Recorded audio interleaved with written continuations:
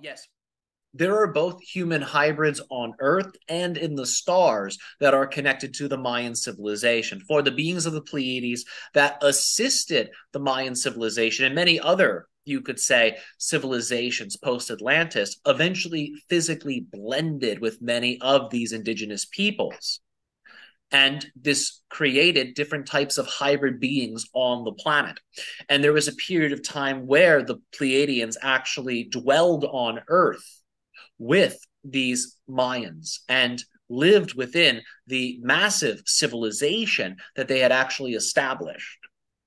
And at a certain point, the Mayan people became so resonant with the frequency of the Pleiadians that they were able to successfully shift from an Earth based reality to a Pleiadian extraterrestrially based reality.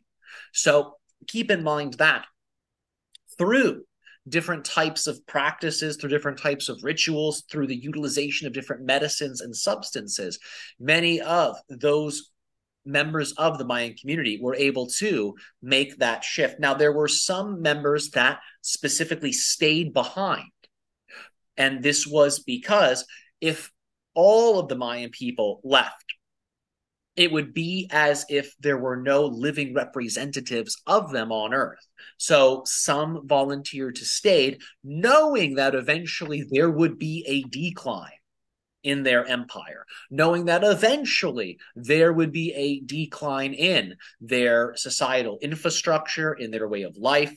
Yet they chose to remain. So that way, that hybrid energy, that hybrid DNA could then be present on the planet, making that experience of ascension possible for the rest of the world because they have stuck around.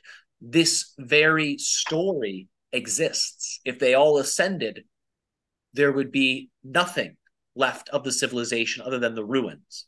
But even today, you can find in Central America many people that have Mayan ancestry because their ancestors chose to stay to integrate and ground those energies to make the possibility of ascension more available. Thank you.